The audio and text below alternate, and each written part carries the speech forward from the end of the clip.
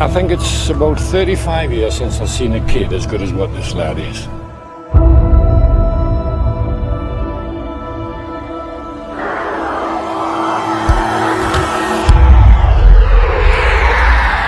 He's got everything.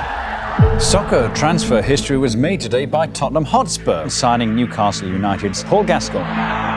Paul was the most complete player I've ever seen. There was a real humanity about Gazza. What does a 21 year old do with £100,000? Buy me dad a new car. He stepped beyond sport. He had the country in the palm of his hand.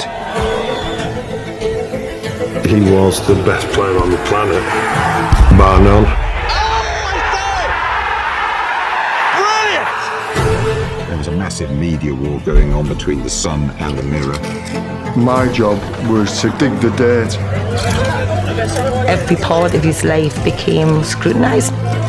He was pretty much besieged, I would say. We tried to protect him.